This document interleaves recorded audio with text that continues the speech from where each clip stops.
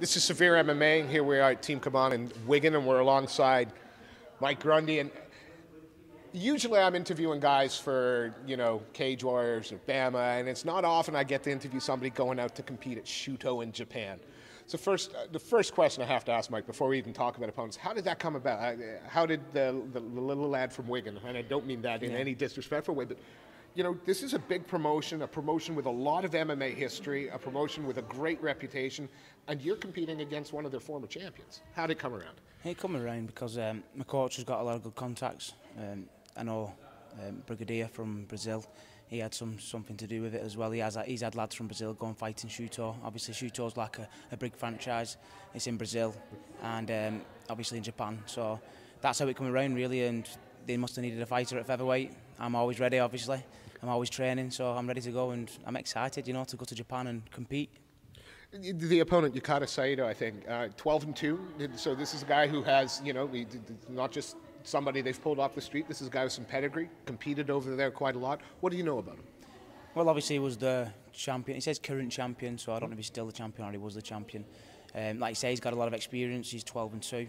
Um, he's come off a lot of decisions. He's had a lot of decisions, so you know he's got a, he's got a gas tank. He can he can grind out a fight. He seems to be a bit of a grappler, but he's got he's got some decent stand up as well, some good counter punches. But you know we're ready for everything. We're prepared for everything. There's no rock unturned. We've absolutely trained 100% for this fight, and you know we've we've got some very good partners in, in the gym. So you know I'm excited for this fight. I'm, training's been that hard, and I'm just ready to fight now, 100%. With a lot, you know, with guys who are traveling maybe for the first time or second time to a big promotion to fight, I would ask if nerves or pressure. But this is nothing new for you, is it? You know, this this this travel, this competing in in sort of hostile territory, as it were, away from home. Uh, how important is the, the, the wrestling background that you got in terms of the Commonwealth Games and, and the number of times you've competed in preparing you for this? Well, obviously, you know, I've travelled to all over the world really with wrestling. Uh, for somebody who's probably just uh, just done MMA and going out to Japan now for the first ever time, it'd be quite daunting, I'd say. Um, but you know, I've competed, like I said, I've competed all over the world and the Commonwealth Games in India, and I drew India first round, and you know, there was five to ten thousand fans there shouting for India against me. So I'm experienced in that, and I'm, and, I, and I'll, I'll, I'll, I'll take that on board, and I don't mind, and I'll accept the change, and I'll, I'll 100% be out going out there confident. I know maybe not something that as a fighter you have to think about, but Shooto being attached to the UFC Fight Pass obviously has a huge, huge following, huge numbers watching. The sport in Japan is obviously huge, so you'll get huge numbers there. It could is this arguably the, the most people that have, have, have ever been able to see Mike Grundy compete in MMA? Yeah, in MMA definitely it is. Um, obviously, there's over half a million subscribers to UFC Fight Pass, so there's going to be a lot of people watching. You know, and there's most certainly going to be a lot of people watching from Wigan. I know I've got a big following right now. Um, and it's probably going to be a little bit of a profile change for me um, in the UK scene, uh, in the world scene, really. You know, and I'm happy to I'm happy to take it on board, and I, am looking forward to it. Is is is, is that the I, you go in to win? I know you go to compete. you have never been the, an athlete to talk shit about anybody or to talk crap. But you know, the, simply put, is is going there? Is this for, is this a chance for you to show the world? Hey, you know, you guys talk about in the UK. We talk about our Brendan Loughnane's and our Paddy Pimbletts, and we talk about you know those guys. Mike Grundy's name's usually not attached to that list. Is it time it was? I'd say so, definitely. You know, um, I'm eight and one right now. Um, I'll be nine and one in the next few weeks, and you know I'm, I'm a professional. I've been a professional athlete since I was you know 16, 17 years old, and I'm taking that into my mixed martial arts now. I want to be in the UFC. I'll be in the UFC this year 100%, and you know it should definitely be up there with with the top guys in the UK. I've, I've always said it, and we've spoken about it off camera. I say it's like the quiet man that gets left at sea in the storm. You've always been the quiet man in UK MMA. Again, you've never, you've never said anything bad about another opponent. You've always been sort of humble, um, respectful. Is that where does that what you, we talked about the fact there's kind of two camps the ones the guys that talk and the guys that just let their their kind of their work do the talking for them is that from your background as a because uh, uh you've been a professional athlete almost yeah. your whole life. I mean, the reason I don't really talk um, crap about other people really is because I've been brought up in an Olympic sport, uh, an amateur sport, and it's not really you're not really brought up like that. You've got to be respectful. You've got to be a role model to the kids. And obviously, I coach at uh, gyms with 60, 70 kids. Co uh, I'm coaching a week, and those kids look up to me. and I'm quite well respected in Wigan and there's a lot of kids that look up to me in Wigan. You know, I'll go into schools and I'll talk to kids in schools about my experience in the Commonwealth Games and my experience in wrestling and things like that. So it's just not my style and it's just not the way I've been uh, been brought up through my sport. Wrestling's a very uh, disciplined and respectful sport and like I say, it's just not my personality. So I wouldn't like to be fake. Um. So I wouldn't like to be something on camera that I'm not really. Uh, I'm confident, but there's different ways of showing confidence.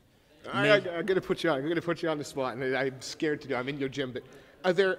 Is there any any featherweights in the UK that you shouldn't be in the cage with? Is there anybody that's just beyond, or are Uh, you up there with them all? I'm up there with them all. Anyone in the UK, I don't mind. You know I mean? Who I fight, like I said, whoever my coach puts in front of me, or whoever they decide to put against me in any show, then I'm ready. In the world, not in, not just in the Yeah, UK. yeah, I don't mind. You know, that's why I'm going to Japan to fight. Yeah. I don't I don't mind who I fight in the world. How many this year, and ideally, when's that UFC debut that you said is coming this year going to happen? Are we looking sort of middle of the year, towards the end? Obviously, nothing's nothing's set set in stone or nothing's been been coming along just yet. But I would like to, uh, you know, I would love to be in the UFC London. You know, obviously, I've got this big fight coming up now in Shooto, and I'll get recognised from that. I'll put, you know, I'll I'll second set that now. I'll put on a performance and I'll win. And you know, London is only six weeks after that fight, so who's to say there's not going to be a pullout, or who's to say they're not looking at me now? So I'm ready. Mike, thank you ever so much for your time and letting us come. First time to you, to the gym that Yeah. I, I insultingly, I think I said you were from ASW a few years ago, which was just did, the worst yeah. mistake I've ever made. So my apologies for that. A wonderful facility. One more question, and I'll let you go. If the, the win happens the way you want, but the UFC doesn't come through, Shooto for a title? Do you think that you know again that's been a, a route in the TUF for you know their flyweight champion and he made a heck heck of a Yeah. run.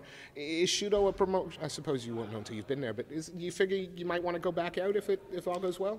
I mean, if, if I've not got a contract with Shooto, it's just a one fight, you know. And if Shooto ever offered me to go back out there, and I would definitely go. I'd love to go.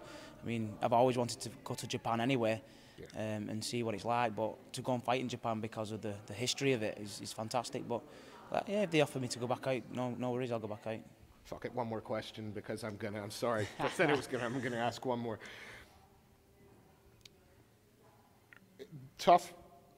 If TUF was offered to you as a route into the UFC, because we've we've we've spoken to some guys who have been there, who, who have done it. Some have been very positive about it. Some have been very negative about it. Some fighters say it's the cheap way in. Some fighters say it's a well in, uh, a way in, well earned. Yeah. If TUF were to come looking and knocking on the door, is that a is that a route to the UFC that you would consider? whatever whatever um, you know whatever comes first really if if that was an option me and my coach discussed and it, it could come along then I would take it yeah to get into the UFC I kind of you know not Not do anything but like I said I'd like to obviously be offered into the UFC not to you know be desperate to get into the Yeah. UFC I'd like them to come to me and say right you know your, your wrestling's really good and you're a really good fighter. I'd like you to come to the UFC and fight for us and that's that's what I would want. Hmm. Mike, it's always a pleasure catching up with you. The date of the event, the day of the event on Shooto is 29th, 29th. which is obviously live on UFC Fight Pass UFC Fight Pass against Yutaka Saito. that's right Good luck. Thank, you very much. And again, the quiet man in, in the lighter weight divisions in, in the UK. I can't wait for you to make some noise in Japan. yeah I'm excited Mike, thank you so much.